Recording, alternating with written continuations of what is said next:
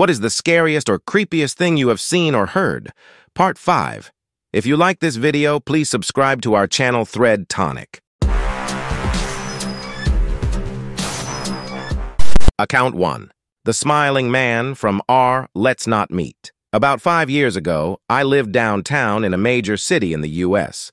I've always been a night person, so I would often find myself bored after my roommate, who was decidedly not a night person, went to sleep to pass the time I used to go for long walks and spend the time thinking. I spent four years like that walking alone at night and never once had a reason to feel afraid. I always used to joke with my roommate that even the drug dealers in the city were polite, but all of that changed in just a few minutes of one evening. It was a Wednesday, somewhere between 1 and 2 in the morning. And I was walking near a police-patrolled park, quite a ways from my apartment. It was a quiet night, even for a weeknight, with very little traffic and almost no one on foot. The park, as it was most nights, was completely empty. I turned down a short side street in order to loop back to my apartment. When I first noticed him at the far end of the street on my side was the silhouette of a man dancing. It was a strange dance, similar to a waltz, but he finished each box with an odd forward stride. I guess you could say he was dance-walking headed straight for me, deciding he was probably drunk. I stepped as close as I could to the road to give him the majority of the sidewalk to pass me by the closer he got. The more I realized how gracefully he was moving. He was very tall and lanky and wearing an old suit. He danced closer still until I could make out his face. His eyes were open wide and wild head tilted back slightly, looking off at the sky. His mouth was formed in a painfully wide cartoon of a smile between the eyes and the smile. I decided to cross the street before he danced any closer.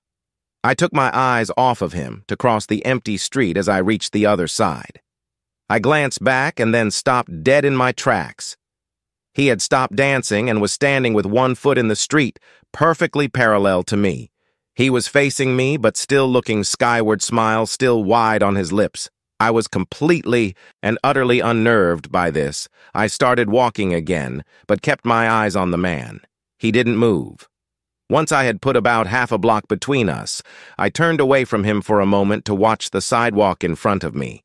The street and sidewalk ahead of me were completely empty. Still unnerved, I looked back to where he had been standing to find him gone for the briefest of moments I felt relieved until I noticed him. He had crossed the street and was now slightly crouched down. I couldn't tell for sure due to the distance and the shadows, but I was certain he was facing me. I had looked away from him for no more than ten seconds. So it was clear that he had moved fast. I was so shocked that I stood there for some time staring at him, and then he started moving toward me again. He took giant, exaggerated, tiptoed steps as if he were a cartoon character sneaking up on someone, except he was moving very, very quickly. I'd like to say it, I ran away, or pulled out my pepper spray or my cell phone, or anything at all. But I didn't. I just stood there completely frozen, as the smiling man crept toward me, and then he stopped again, about a car length away from me, still smiling, his smile still looking to the sky. When I finally found my voice, I blurted out the first thing that came to mind. What I meant to ask was, What the fuck do you want, in an angry, commanding tone? What came out was a whimper. What the fuck? Regardless of whether or not humans can smell fear, they can certainly hear it. I heard it in my own voice, and that only made me more afraid, but he didn't react to it at all. He just stood there smiling, and then after what felt like forever, he turned around very slowly and started dance, walking away, just like that, not wanting to. Turn my back to him again. I just watched him go until he was far enough away to almost be out of sight, and then I realized something he wasn't moving away anymore, nor was he dancing. I watched in horror as the distant shape of him grew larger and larger. He was coming back my way, and this time he was running. I ran too. I ran until I was off of the side road and back, onto a better lit road with sparse traffic looking behind me. Then he was nowhere to be found the rest of the way home. I kept glancing over my shoulder, always expecting to see his stupid smile. But he was never there. I lived in that city for six months after that night, and I never went out for another walk. There was something about his face that always haunted me. He didn't look drunk. He didn't look high. He looked completely and utterly insane, and that's a very, very scary thing to see. 2. Years ago, I lived in a townhouse above the an old couple that were the landlords. This was in the historic section of Albany, NY, near the park. The landlords were in their 60s, maybe early 70s. This place actually had a plaque on the front of it saying it was built in 1880-something and that some rich state senator had lived there. There's places like this all over the area that had been subdivided and rented out. I lived there for a year, and every now and then, always while I was trying to sleep, I would hear faint organ music accompanied by some rhythmic banging sounds. I always have slept with a fan to drown out any ambient noise and sleep better. This music was just floating through my room. No one was above me, just the old. People who went to bed at nine below me, I would get up and try to find the source of the sounds. But it just seemed like it was everywhere and nowhere, since I never heard any music or anything from any other room. And I never heard that music during the day. I concluded that it was the ghosts of previous occupants that had lived there decades before. This actually affected my decision to live there again when my lease was up. The old couple even offered to knock $50 a month off the rent if I resigned, opting instead to live in a newer place. Account 3. I've been on a tour at an old prison, and some of the scariest shit I've ever experienced has happened there. I'm not convinced in ghosts and whatnot, but if there are, they're definitely there. Every other person who works there has their own creepy story. My scariest was when I had a group of about 30 people in the gallows one night, the room where people were hanged, and the room is made of corrugated tin. So I was there doing my bit, when suddenly there was this huge bang on the roof. Everyone looked up and a few people screamed by, a lot laughed. We have a few actors that jump out on tours.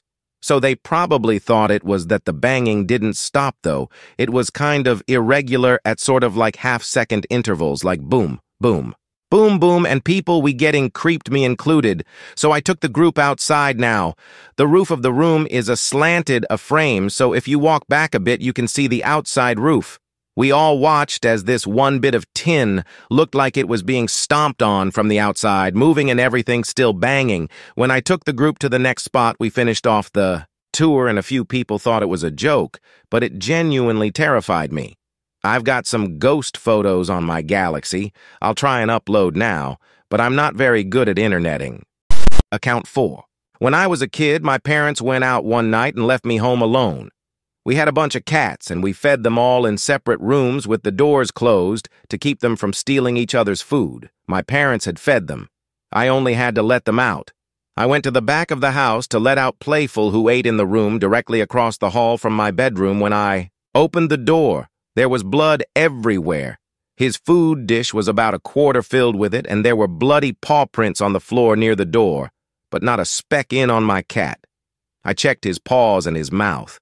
There was no blood on him at all when my parents came home. They checked him over and weren't able to find any explanation either. Account 5. Backcountry camping alone can be incredibly scary with a friend you can at least discuss that bump you heard in the night, or you can be consoled that another will help you if something goes wrong. But alone, it is an entirely different story. The day goes by fine. You hack out, take a lunch. Break get to camp set, stuff up, have a little fun. Then it starts to get dark you. Have a fire and you can see a little at first, but before long total darkness sets in. It is disheartening to not be able to see your hand in front of your face. Soon enough, you start hearing things. Footsteps, twigs, snapping brush, moving. Depending on where you are camping, you might hear coyotes, wolves at night. Coyotes have more of a shrill, yelping howl, almost hyena-like. Wolves have this hauntingly beautiful droning howl. The worst part is that you will hear them everywhere. You'll hear a howl a couple miles away, then you'll hear one a mile away, then you'll hear one 500 yards away. Pretty soon, you can be surrounded by this eerie chorus. It doesn't make for the best sleep storms are also worrisome out in the middle of nowhere, lightning, has claimed many hikers, I also stumbled upon a black bear. 20th away once despite nearly having a heart attack, shitting my pants, accepting death, it noticed me pretty quickly and fled. 6. Just last year, I was in NYC and riding a packed subway mid-ride. A man gets up with a strangely large backpack. He cleared his throat and said, All right, everyone, the time has come. And in that moment, the people on the sub's faces turned to fear. A mother nestled her son, and I tensed up, ready to pounce. He continued to say, I am a poor man, in need of food, if anyone has anything on them, or if they could take me out for food, it would save my life. My girlfriend and I got him some KFC and asked him to approach a large group of people differently. All in all, he was a nice guy, didn't even look homeless. My girlfriend still refers it as the day the KFC guy was gonna kill us. Account 7. When I was 16, I was sitting at a table with my mom talking about life, musing on the afterlife and reincarnation. The usual, I began to laugh and say, You know, I'm pretty sure I remember my past life. This was about the time her face went pale. I asked her why, that's when she began to list all of the details of my silly past life, which I always felt was just a recurring dream I must have. She told me how I was the youngest child in a family of poor travelers, how my crib was the top drawer of any dresser where we would sleep, and my mother was a tall, bony, angry-looking woman with her hair pulled high, always wearing a long dress. All the details I was about to tell her, for what I thought was the first time, how did you know? All of that I've never told you before. I said, because that isn't the first time you've told me. She said, you told me that story many times when you were a baby after you first learned to talk. I don't believe it. And the worst thing, she said with a dark brow, was when I would come to play with you and you would tell me your other mother was behind me.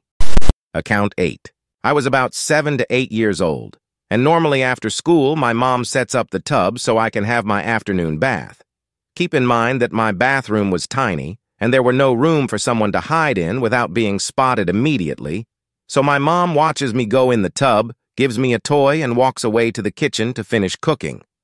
I wanted to splash around in the water with my toy. So I closed the glass sliding door of the tub. As soon as I closed the sliding door, it quickly opened on its own. My tiny little mind couldn't fathom how that happened. A few seconds later, the sliding door rapidly opened and closed for a few seconds. I started screaming and my mother ran to the bathroom to find me crying in the tub. I told her what happened, but she didn't believe me. The sliding door was closed when she found me crying in the bathroom for over 20 years. It bugged me. Was it part of my imagination? It felt completely and entirely real. Account 9. I actually had the most frightening nightmare the other day. I was coming home from work, and it was dark out as I walked up the steps to my front door. I saw little children playing on the lawn but couldn't make out if they were neighbors or not. I walked up close to them, and they were adults with kids' masks on, but the kids' masks looked so real, and they started coming. Towards me, I kept backing up, but the steps never ended. Account 10. This happened just last night. I woke up randomly at about 2. 0 a.m. to the sound of footsteps in the hallway. I figured it was just my roommate getting home from her late shift, but after about five minutes of hearing the footsteps pacing back and forth, I got up to see what was going on when I opened my bedroom door. The footsteps stopped, and there was no one in the hallway. I checked my roommate's room, and she was fast asleep. I have. No idea what it was, but it freaked me out enough to sleep with the lights on for the rest of the night. Account 11. Growing up, I lived in the middle of the woods. No neighbors for about a mile on each side, and we owned 60 acres of forest, then a swamp after that. So basically, I lived in the middle of nowhere one summer when I was about 14. I was out in the middle of the woods playing with my dog. I'm an only child, and both of my parents were out of town. When I kept feeling something hit my elbow, I'd go to throw Max's ball, and the bump would make me throw it almost straight up, assuming it was just me bumping it on trees or something. I ignored it after the fourth or fifth time of it happening. I thought, well, this sucks. I'll just go home. Walking back, I felt uneasy, but I knew I was just freaking myself out, because we were alone. About an hour later, Max and I are at home on the couch when the garage door opens and he starts barking. barking, barking like crazy. I hop up to go let in my mom or dad. Even though they were home really early, I peered through the peephole and saw the door was still shut and no one was in the garage. Quieting Max down, I opened the door slowly and called out for my dad. Nothing, no response at all. So I go out to check the door and it's still locked. Okay, sure weird. But oh well, Max heard it too. So at least I know I'm not crazy. About 20 minutes later, I hear the door open again, and this time, Max starts growling like crazy. I quiet him down again and just assume it's the wind or something. Making noise, even though by this point my heart is racing, I hear footsteps come up the stairs and think, oh geez, Dad really is home this time and hop up and run to the door. It starts to jiggle, so I run faster to let him in. I peep through the hole, and even though my hand is loosely around the jiggling handle, there's no one on the other side of the door. Terrified, I go hide on the couch with all the lights on. Max is still growling. About an hour after that, I start to feel a little better, even though I'm still terrified. Then I hear the door handle jiggle again. This time it was Max jiggling it. He needed to go outside, and the only way outside is through the garage. Fantastic, I literally sprint with him to the kennel, and as I'm standing in there, I decide to ask this thing questions to make myself feel better, because I knew it wouldn't answer me thinking about what to ask it. My eyes are drawn to the huge, heavy oak door on the kennel. It was always open because it was too heavy for me to move easily. I said, Okay, ghost. If you're real, you'll shut this heavy door. Nothing. A minute goes by. Nothing. Max is still sniffing around. I turn around to yell at him to hurry up, and then from behind me I hear, click, I whipped around and saw the giant door had swung shut and latched. Okay, clearly it was just the wind. It wasn't really windy, but it was the wind for sure. Had to be. I proceed. Okay, ghost, that was the wind. If you're really real, you'll open this massive door back up. Nothing. I relax a bit and then squat down with my head in on my knees, reminiscing about how lame I just was being scared, when I hear click, clack. The door was now wide open. Max was done. So we booked it back into the house, locking every door in the house. For the next four hours, I would hear the footsteps on the stairs and the door handle jiggling every few minutes. Until finally, around 11 p.m., my dad walks in and yells, at me for wasting electricity. I never told him or my mom about it. Until about a four months later, when my dad came in from hunting after dark, he looked shaken and I asked him what was wrong. He said he aimed at two deer but missed both completely, because it felt as if something was hitting his elbow and making him shoot way above the deer. That's when I told him everything. Account 12. Creepiest, but proves I have some kind of good energy watching my back. I was about 16 and home alone in my house at night. This was back in the day when MSN Messenger was the thing to do. So I was chatting away on there with some friends, and my internet kept cutting out, so I would be signed out of MSN and then signed back in. This went on for a while and kept cutting out, quicker and quicker. Eventually, I couldn't stay online for more than 30 seconds, so I was like, fuck this and get up from my computer chair to leave the room the moment I was at the door. Way turning the corner to go up the stairs, the light fixture falls off the ceiling and shatters where I had been sitting on the computer chair. I ran upstairs and proceeded to hide under. My blankets until my parents got home told TLDR. Almost got injured, but some good ghosts saved my ass. Count 13. I had been working on a student film a few years ago, and I was tasked with taking care of all of the equipment earlier that day. I had leaned the camera crane against the wall in its large, oddly shaped bag, not thinking anything of it fast forward to that night when I wake up to find a dark figure leaning against my wall as if staring at me. Sleep. I slowly rouse myself, making sure to stay very still before mustering up the courage to say, Who are you? in a shaky voice filled with terror. I sat there motionless for 10 minutes before I fully woke up and realized I am a dumbass. Strangely, the most terrified I have ever been. Count 14. A few days ago, I was sitting on my couch just doing Facebook Reddit things. Now, mind you, the day before, I had already had three spider run-ins and two centipede sightings, and as an arachnophobic, just freaking nope, so I'm sitting at my computer, and I see my cat waltz by. He jumps up to the back of the couch like he always does and sits himself down behind me. I don't really look back where because, well, Reddit. Then I see some movement to my left. Don't worry, I think to myself. That's just my cat's tail swishing back and... Meow, my cat makes a cute, adorable meow. To my right, whatever is moving to my left is not my cat. I slowly horror movie reveal, turn my head, and look down. And there is a centipede about three inches long, crawling its way across. My chest, I start making...